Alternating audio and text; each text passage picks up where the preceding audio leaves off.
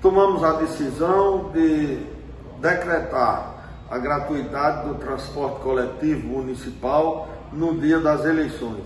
Isso vai facilitar o transporte das pessoas carentes, das mais necessitadas aqui na cidade de Natal, a exemplo de outras capitais da região Nordeste que também adotaram a mesma postura e o mesmo posicionamento. Portanto, fica decretada a gratuidade do transporte coletivo municipal para o dia da eleição na cidade de Natal.